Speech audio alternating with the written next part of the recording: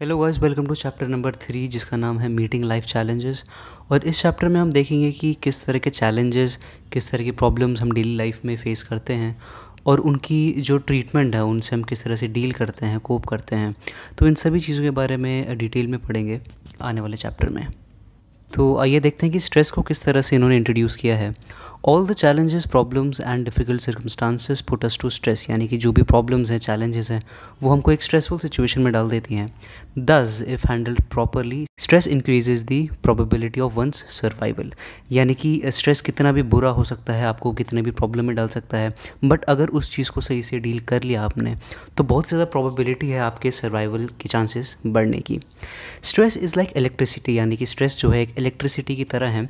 एक बल्ब में जिस तरह से एनर्जी आती है और वो सिर्फ़ इलेक्ट्रिसिटी ही दे सकती है, वैसे ही जो स्ट्रेस है वो ह्यूमंस का जो बल्ब है वो जला देता है, ठीक है? तो however if the electric current is too high it can fuse bulbs damage appliances यानी कि ठीक है इलेक्ट्रिसिटी भी ज़रूरी है स्ट्रेस भी ज़रूरी है बट अगर स्ट्रेस बहुत ज़्यादा है तो वो आपके बल्ब को जो है फ्यूज़ भी कर सकता है। Similarly high stress too can produce unpleasant effects and causes our performance to deteriorate तो ज़्यादा स्ट्रेस होने के कारण आपकी जो परफॉर्मेंस है वो भी कम हो सकती है।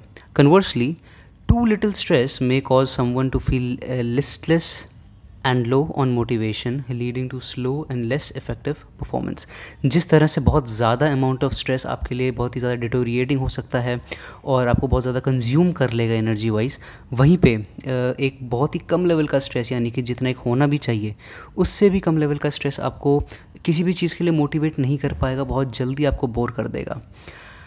Hence not all stress is inherently bad और डिस्ट्रक्टिव यानी कि नेचुरली uh, कोई भी एक जो स्ट्रेस है हर तरह का स्ट्रेस बुरा नहीं होता आपके लिए एक यू स्ट्रेस भी होता है।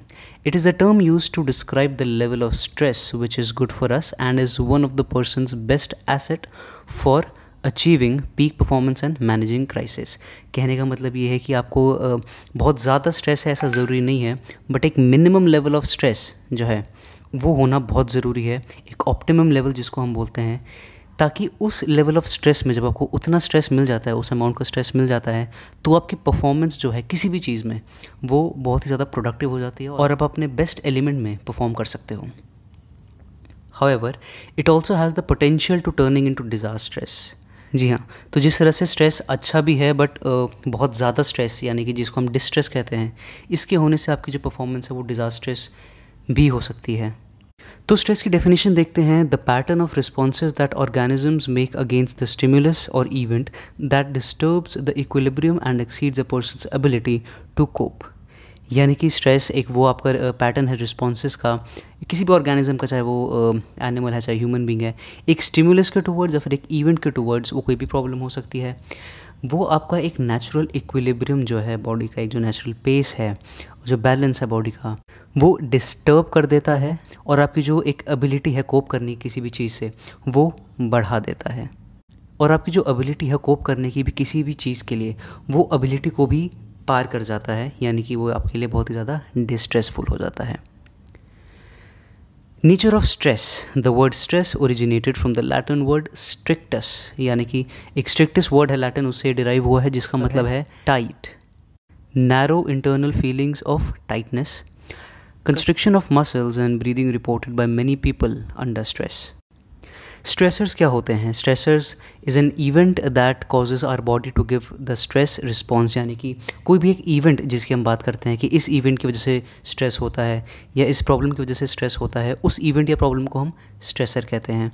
अब ये स्ट्रेसर कितने टाइप के होते हैं? ये एक एक्सटर्नल टाइप के होते हैं, यानी कि ये जो इन्वायरमेंट से आते हैं, चाहे वो बहुत ही ज़्यादा नॉइज़ के फॉर्म में है, चाहे वो पोल्यूशन के फॉर्म में है, भीड़ है कहीं पे ट्रैफ़िक है तो ये सारी जितनी भी चीज़ें हैं, ये सारी एक्सटर्नल स्ट्रेसर के फॉर्म में आती हैं। वहीं पे एक टाइप होता है सोशल स्ट्रेसर यानी कि जो आपको लोगों से मिलता है सोसाइटी से मिलता है जिसमें आपका ब्रेकअप इंक्लूड होता है अब दोस्तों के साथ आपका जो उठना बैठना बंद हो जाता है और एक जो लोनलीनेस की फीलिंग होती है सारी ही जो चीज़ें हैं वो सोशल स्ट्रेसर्स से आती हैं। फिर आता है साइकोलॉजिकल स्ट्रेसर्स यानी कि जितनी भी आपकी मेंटल uh, कॉन्फ्लिक्ट्स आते हैं वो आपके चाहे थॉट्स हैं चाहे वो नेगेटिव थॉट्स हो सकते हैं तो ये जितनी भी चीज़ें हैं जो आपके अपने माइंड से आती हैं इसको हम साइकोलॉजिकल स्ट्रेसर कहते हैं। फिर एक टर्म आता है स्ट्रेन यानी कि आपकी बॉडी फिज़िकली किस तरह से रिएक्ट कर रही है उस प्रॉब्लम से, उसको हम स्ट्रेन कहते हैं। ये मसल स्ट्रेन भी हो सकता है, ये फ़िज़िकल फॉर्म में भी हो सकता है, ये साइकोलॉजिकल स्ट्रेन भी हो सकता है। हैन सिले एक साइकोलॉजिस्ट थे जिन्होंने बोला था कि एक इंडिविजुअल किसी भी स्ट्रेस को एक पर्टिकुलर पैटर्न में ही फिजियोलॉजिकल पैटर्न में ही रिएक्ट करता है, चाहे वो किसी भी तरह का स्ट्रेस हो, चाहे उसका कोई भी नेचर हो। Ever do not agree with Hans theory they believe the responses can not be as general and non specific for any stimulus Hans से थोड़ा डिफरेंट परस्पेक्टिव जो रखते थे लेजारस वो ये कहते हैं कि जो हमारा डील करने का तरीका है स्ट्रेस से, वो काफ़ी ज़्यादा कॉग्नेटिव है या फिर हमारा जो कॉग्नेटिव अप्रेजल्स हम देते हैं, उन पे डिपेंड करता है। इनके हिसाब से दो तरह के अप्रेजल्स होते हैं, एक प्राइमरी अप्रेजल और एक सेकेंडरी अप्रेजल जिनके थ्रू हम स्ट्रेस के साथ डील करते हैं। तो प्राइमरी अप्रेजल का मतलब है कि हम किसी भी थ्रेट को जब हम देखते हैं परसीव करते हैं हार्म को देखते हैं कि कोई प्रॉब्लम आने वाली है तो उसको हम पहले एनालाइज करते हैं और देखते हैं कि ये पॉजिटिव है न्यूट्रल है या फिर नेगेटिव है? यानी कि कोई चीज़ अगर प्रोडक्टिव हमारे लिए हमारे लिए साबित होती है तो उसको हम पॉजिटिव अप्रेज करते हैं।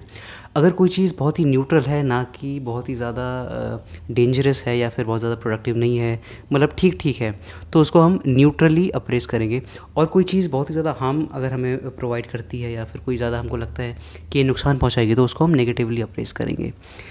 सेकेंडरी अप्रेज़ल जो आता है, वो प्राइमरी अप्रेज़ल के बाद जब हमने एनालाइज कर लिया असेस कर लिया, फिर सेकेंडरी अप्रेज़ हम करते हैं और फिर हम उसमें अपने कोपिंग एबिलिटीज़ ढूंढते हैं कोपिंग स्ट्रैटेजीज ढूंढते हैं कि अच्छा हमने या तो पॉजिटिव असाइन कर दिया या तो नेगेटिव असाइन कर दिया फिर न्यूट्रल असाइन कर दिया। बट अब इसके बाद हम इस चीज़ को डील कैसे करेंगे, चाहे वो हार्मफुल है, चाहे वो थ्रेट है तो जो हमारे पास हमारे रिसोर्सेज हैं, हमारी पावर्स हैं, चाहे वो मेंटल है, चाहे वो फ़िज़िकल है सोशल है को किसी भी तरह का हमारा जो टूल है, एक वेपन की तरह हम उसको यूज़ करेंगे स्ट्रेस के साथ डील करने में। तो कुछ टर्म्स को समझाया हुआ है यहाँ पे negative events are appraised for their possible harm threat और चैलेंजेस हार्म को यहाँ पे डिफाइन किया है it is the assessment of damage that has been done by the event threat is the possible future damage by the event and challenge is more confident expectations of the ability to cope up with the stressful event अब बात करते हैं types of stress की, यानी कि कितने तरह के स्ट्रेस होते हैं।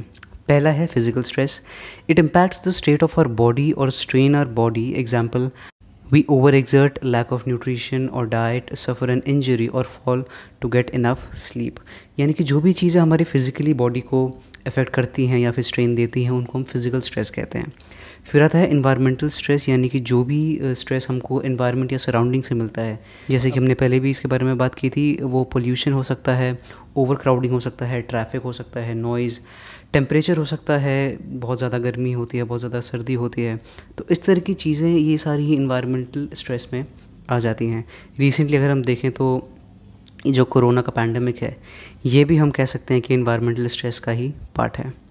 फिर हम बात करते हैं साइकोलॉजिकल स्ट्रेस की। These are generated in our minds and are personal and unique to the person. It is caused by frustration, conflicts, internal and social pressures.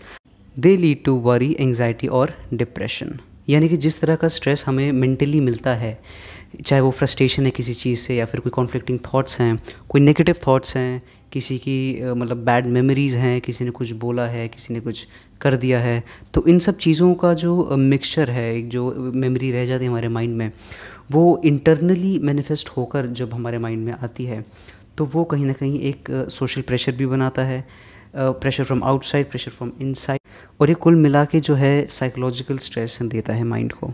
देखते हैं फ्रस्ट्रेशन क्या होता है।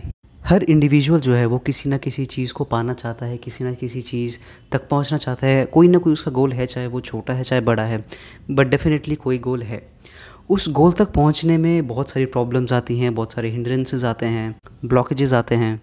और इस जितनी भी हिंड्रेंस है, जितनी भी प्रॉब्लम्स है जो हमारे रास्ते के बीच में आती हैं, ये एक क्या है, एक प्रेशर क्रिएट कर देती हैं, एक अननेसेसरली ब्लॉकेज क्रिएट कर देती हैं हमारी नीड्स में, हमारे मोटिव्स में वहाँ तक पहुँचने के लिए। तो वो जो ब्लॉकिंग है, वो जो एक टेंशन क्रिएट करती है, इसको हम फ्रस्ट्रेशन कहते हैं। फिर देखते हैं कॉन्फ्लिक्ट क्या होता है। दे में अकर बिटवीन टू और मोर इनकम्पैटिबल नीड्स और मोटिव्स यानी कि हम, हमारे जो माइंड में दो या दो से ज़्यादा कोई भी एक मोटिव है किसी चीज़ को लेने के लिए या फिर कोई चीज़ परफॉर्म करने के लिए इसका एग्जांपल लेते हैं. For example whether a student prefers to study dance और to take up psychology as a subject यानी कि एक स्टूडेंट कंफ्यूज हो सकता है कि उसको डांस में स्टडी करना है या फिर साइकोलॉजी में. तो बहुत ही सिंपल सी सिचुएशन है बट वो एक स्टूडेंट हो सकता है, इसमें भी कन्फ्यूज़ हो जाए और एक अननेसेसरली एक इंटरनल कॉन्फ्लिक्ट क्रिएट कर दे फिर हम बात करते हैं इंटरनल प्रेशर्स की. They stem from beliefs based upon expectations from inside us to ourselves, such as I must do everything perfectly. अब इस तरह की जो एक्सपेक्टेशंस होती हैं खुद से कि मैं जो करूँगा वो परफेक्ट ही होगा और परफेक्ट तरीके से ही आना चाहिए तो ये एक तो अनरियलिस्टिक है दूसरी ये अननेसेसरीली डिमांड्स हैं क्योंकि ऐसा प्रैक्टिकली नहीं हो सकता कि आप हर चीज़ परफेक्टली करें तो ये अननेसेसरी डिमांड जो खुद से हैं वो इंटरनल प्रेशर क्रिएट कर सकते हैं और यही डिमांड्स जब सोसाइटी आपसे करती हैं, कुछ अनरियलिस्टिक या फिर अनवांटेड डिमांड्स जो सोसाइटी आपसे करती हैं, ये क्रिएट करती हैं सोशल प्रेशर्स यानी कि जो चीज़ दूसरे लोग आपसे एक्सपेक्ट करते हैं, वो रिलेटिव्स हो सकते हैं आपके इवन आपके पेरेंट्स भी हो सकते हैं। तो ये लोग जब अननेसेसरली डिमांड क्रिएट करते हैं आपके लिए तो एक प्रेशर क्रिएट होता है जिसको हम सोशल प्रेशर कहते हैं। फिर हम देखते हैं सोशल स्ट्रेस ये वो स्ट्रेस है जो हमको सोसाइटी के थ्रू मिलता है या फिर बाहर के लोगों से मिलता है। वो किसी भी एक सोशल इवेंट में हो सकता है, जैसे किसी का डेथ है, किसी पड़ोसी के साथ कोई कॉन्फ्लिक्ट है, किसी के साथ रिलेशनशिप अच्छा नहीं है, आपके स्पाउस के साथ या फिर आपके ऑफ़िस में। तो जितनी भी चीज़ें हैं जिसमें दूसरे लोग इन्वॉल्व होते हैं, वो एक सोशल स्ट्रेस क्रिएट करता है। अब बात करते हैं सोर्सेज ऑफ़ स्ट्रेस की, यानी कि वो कौन से सोर्सेज हैं जिनसे हम स्ट्रेस हमें मिलता है। तो अब हम देखते हैं सोर्सेज ऑफ़ स्ट्रेस तो पहले देखते हैं लाइफ इवेंट्स क्या हैं। तो कुछ लाइफ इवेंट्स ऐसे होते हैं हमारे साथ जो कि उन सिचुएशंस में हम डील नहीं कर पाते या फिर एक बहुत ज़्यादा या बहुत ट्रोमेटिक स्ट्रेस दे जाते हैं हमको। और ये हमारे जो एक हमारी एक लिविंग स्टाइल होता है या फिर हम एक जो फ्लो में हमारी लाइफ चल रही होती है, उसको सडन डिस्टर्ब कर देता है ये। जैसे कि एक लॉन्ग टर्म जो रिलेशनशिप है, अगर उसमें किसी का ब्रेकअप हो जाता है, जो कि नॉर्मली होता है, और उससे बहुत मैं कहूँगा ninety percent of the people they are unable to cope up with that तो वो जो ट्रॉमा है, उसको डील करने में बहुत टाइम लगता है और बहुत ही पेनफुल रहता है वो। तो इस तरह के जो इवेंट्स होते हैं, ये बहुत ही लॉन्ग लास्टिंग इम्पैक्ट भी छोड़ सकते हैं।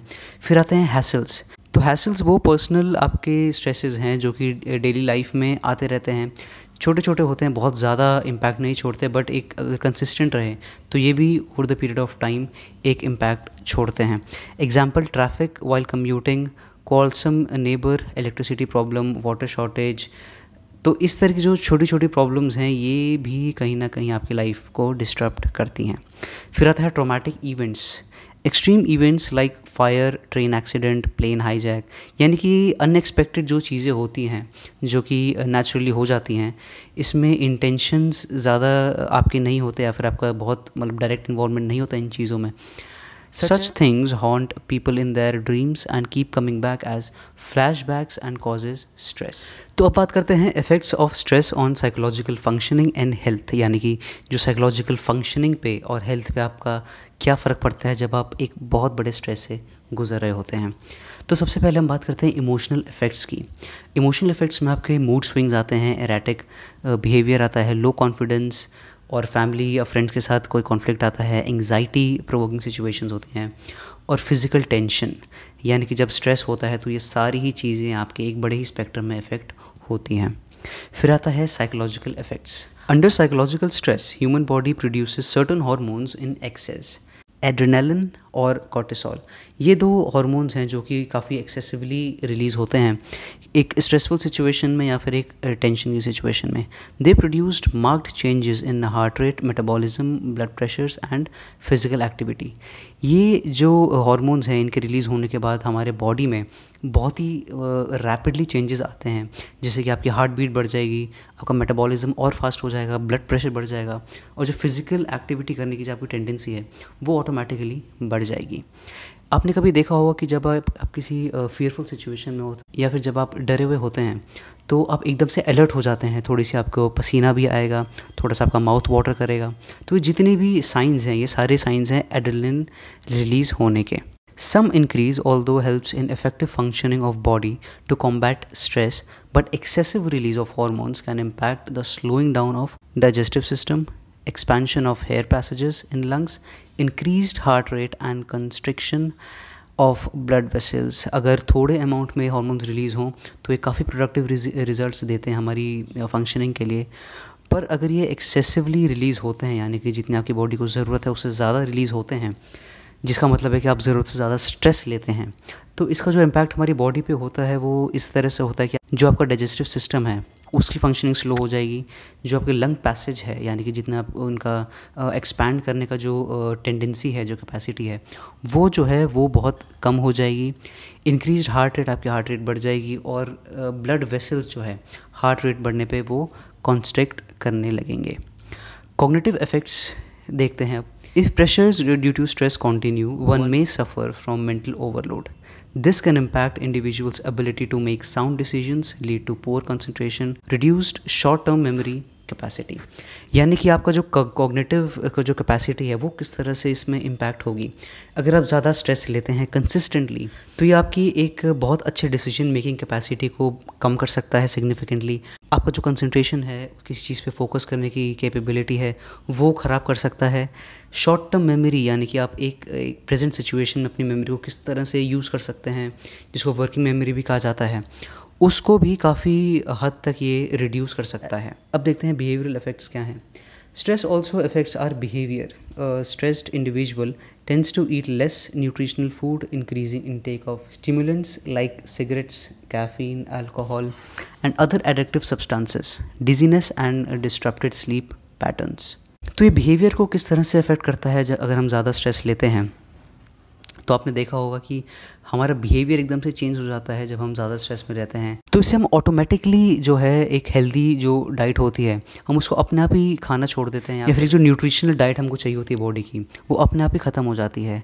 और इस डाइट की वजह, इस, और इस डाइट के रिप्लेसमेंट में, इस जो हेल्दी हमारा इंटेक है, इसके रिप्लेसमेंट में हम तमाम गलत चीज़ें जो हैं वो कंज्यूम करने लग जाते हैं। जो कि है सिगरेट्स कैफ़ीन अल्कोहल या फिर बहुत ज़्यादा हम स्वीट चीज़ें कंज्यूम करते हैं जब हम बहुत ज़्यादा स्ट्रेस में होते हैं, जैसे चॉकलेट्स तो ये जो भी चीज़ें हैं, ये मोमेंटरीली होती हैं, ये हमारे कंट्रोल में नहीं होती हैं बट लॉन्ग टर्म में जो है इनका इफ़ेक्ट काफ़ी ज़्यादा डिज़ास्टर्स हो सकता है। स्लीप पैटर्न्स भी काफ़ी हद तक ख़राब होते हैं और अगर कंसिस्टेंट रहे तो ये परमानेंटली भी डैमेज कर सकते हैं।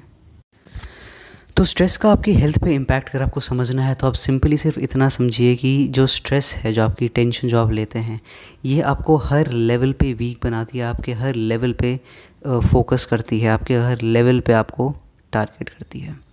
सबसे पहले आता है chronic chronic daily stress can affect physical and mental health of an individual यानी कि एक कांस्टेंट स्ट्रेस जो होता है, ये आपके फ़िज़िकल मेंटल दोनों ही हेल्थ पे बहुत गहरा इम्पैक्ट छोड़ते हैं।